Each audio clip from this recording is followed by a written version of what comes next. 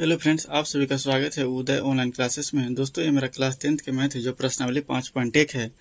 मेरा एक के तीसरा क्वेश्चन है। हम दो क्वेश्चन बना दिए हैं, अगर नहीं देखे तो जा करके देख लीजिएगा। और मेरा तीसरा क्वेश्चन है कि प्रत्येक मीटर की खुदाई के बाद एक कुआँ खोदने में आई लागत, जबकि प्रथम मीटर खुदाई की लागत डेढ़ सौ रुपया है, और बाद में प्रत्येक मीटर की खुदाई लागत पचास रुपये बढ़ती जाती है। यानी कोई कुआँ खोदाता है। तो खुदाई लागत कितना है प्रथम मीटर के लिए? पहला मीटर के लिए खुदाई लागत डेढ़ सौ रुपया है। इसके बाद जितना मीटर आगे जाएगा, एक मीटर, दो मीटर, जितना आगे बढ़ेगा, उतना पचास पचास रुपया ऐड करेगा। तो चलिए हम इसको हम एपी में देखते हैं कि नहीं। तो यहाँ पे लिखते हैं।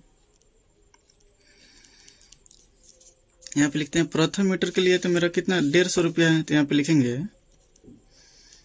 प्रथम प्रथम मीटर की खुदाई लागत प्रथम मीटर की खुदाई लागत। डेढ़ सौ रुपया है तो यहाँ पे लिख देंगे डेढ़ सौ रुपया। और अतिरिक्त मीटर के लिए,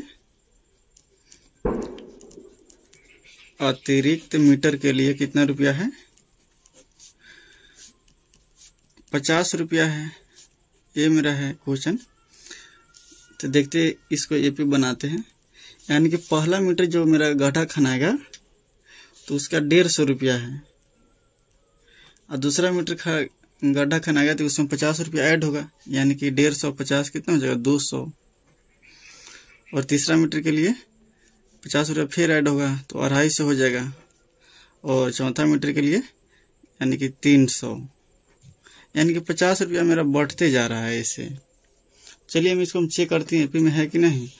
तो इसको हम डी निकालते हैं, सार बनतर इसको हम ऐसे लिख सकते हैं।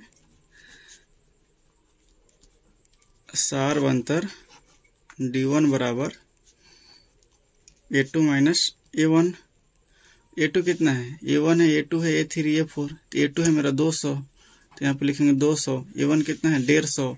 तो यहाँ पे लिखेंगे डेढ़ सौ। इसको घटा देंगे तो कितना हो जाएगा? पचास। ये हो गया, अब सार बनतर दूसरा निकालते हैं। अब हम डी टू निकालते हैं। डी टू बराबर क्या हो जाएगा? A three minus A two A three कितना है? A one A two A three A three मेरा अढ़ाई सौ है। तो यहाँ पे लिखेंगे अढ़ाई सौ। ए टू कितना है? दो सौ है। तो यहाँ पे लिखेंगे दो सौ। इसको घटाएँगे तो कितना हो जाएगा? पचास। यानी कि देखिए, हर स्थिति में मेरा सार अंतर यहाँ पे बराबर है। अब इसको घटाते जाइएगा तो मेरा फिफ्टी ही आएगा हर स्थिति में। तो यहाँ पे लिखेंगे इस इस एपी का इस एपी का सार्व अंतर सार्व अंतर डी पचास है। इसलिए यह एपी में है। ये मेरा आंसर आ गया। तो फ्रेंड्स, उम्मीद है कि ये सवाल आपको समझ में आ गया होगा।